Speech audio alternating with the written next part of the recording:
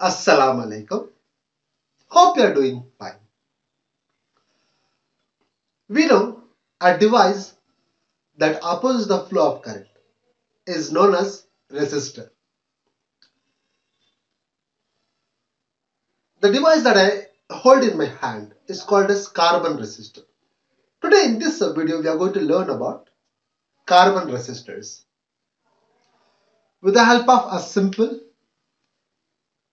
experiment. This device is known as carbon resistor. It consists of a ceramic core on which a thin layer of crystalline carbon is deposited. The thickness of the carbon layer decides the resistance offered by this resistor. These kind of resistors are inexpensive and highly stable. They are provided with color rings which uh, tells us the resistance of these resistors.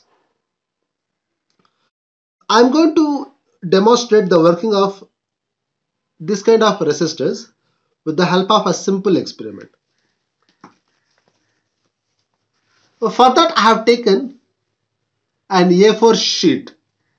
On this A4 sheet I have made a track by scribbling using a pencil. We know the tip of the pencil is made of graphite which is an allotropy of a carbon. When I scribble the paper using pencil it forms a thin coating of carbon over it. So it exactly similar to the coating given on ceramic core of a resistor.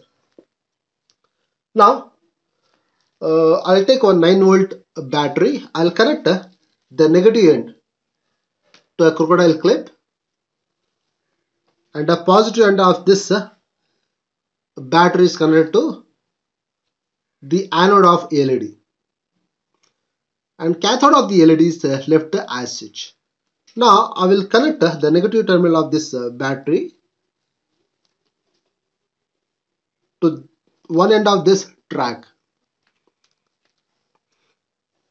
Now I'll touch uh, the cathode of this LED to the track. Now I will touch uh, this end.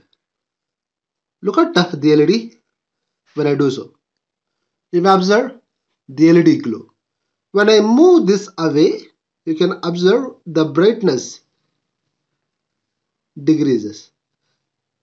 This is due to increase in the resistance offered by this carbon track. Now when I come close, the resistance decreases and the brightness of LED increase.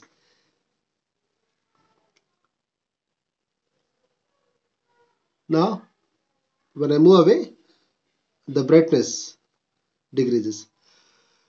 Uh, this is how a carbon resistor work. I hope uh, this video is useful. If you have any kind of doubt related to the topic, kindly put your questions in the comment section. Thanks for watching.